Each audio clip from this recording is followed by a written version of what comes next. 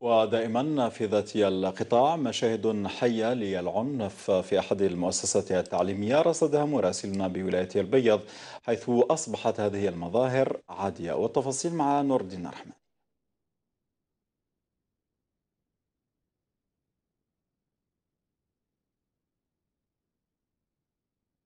الظاهرة وتعامل التلاميذ مع المؤسسة التربوية بات وفق ما يرغب فيه التلميذ ولو على حساب النظام العام. باغي نتبدلوا من الثانوية ذي الثانوية الأخرى خشها قريبه ذي بعيدة علينا بزاف.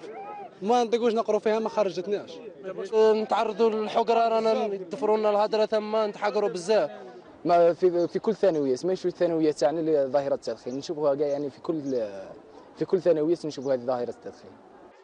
الاعتداء على الأساتذة والمشادات والمعارك بين التلاميذ صارت من يوميات المؤسسات التعليمية. ظاهرة العنف. هذه الظاهرة الغريبة على ديارنا يعني سببت تسببت في كثير من آه، اولا العرقله الحسنه للجانب للسير التربوي. لازم باش يكون عندنا مستقبل نتفائلوا به لازم نتخلصوا من ظاهرة العنف.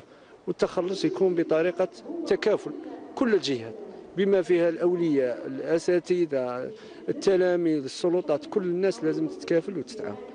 تواجد عناصر الأمن داخل وبمحيط المؤسسات التعليمية تحول إلى ضرورة. مؤشر على انفلات خطير يتطلب تدخل الجميع.